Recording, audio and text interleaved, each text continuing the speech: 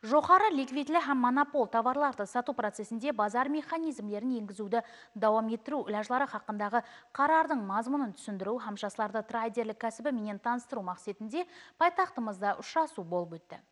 Өткерілген ілажға өзбекстан республикасы товар шикізат биржасы монополияға қарсы күресу комитеті қарақалпақстан республикасы басқармасы электрон саудаларының қатынасушылары һәм сырт ел инвесторлары қатынасындағы қоспа карханаларының уәкілдері қатынасты. Мақсат болса президентіміздің жоғары ликвидлі һәм монопол товарларды сату процесінде базар механизмдерін енгізуді дауам ettіру ілажлары хақындағы қарарының мазмұн һәм ахметін әсіресе жас ісперлерлер үшін берілген имканиятларын кеңінен түсіндіруден ібарат атап айтқанда қарарға муафық биржа саудалары orqali сатылатын tovarlarning тізімі kengaytirildi joriy yilning sentyabr oyidan boshlab birja orqali sotilgan tovarlarni tashish auksion tarzida shaffof tarzda auksion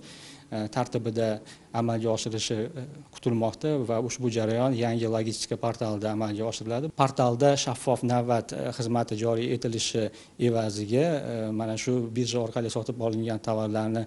tashishda mavjud bo'lgan muammolar bartaraf etiladi товар шикізат биржаларының сырт елдердегі сауда майданшыларында түзілген шарттамалар бойынша товарлардың бажхана бағасын анықтау тек қана сол шартнамаларда белгіленген баға бойынша әмелге асырылады. Бұл әлбетте импорт товарлардың баға тәсірін көрсетіп ішкі бағаның тұрақлы болуына алып келеді. Сондай ақ ләжда осы жылдың бірінші сентябрь күнінен бастап монопол һәм мемлекет қатынасындағы шөлкемлер тарапынан биржа саудаларында сатылып жатырған өнімдерді тасу электрон логистика сауда порталы арқылы аукцион тәртібінде әмелге асыратылуға айтып өтілді. Бұл өз кезегінде бұйыртпашылар һәм жеткеріп берушілердің мемлекеттік саудалар бойынша электрон саудаларда қатынасуын және де жеңілдестіруге қызмет етеді.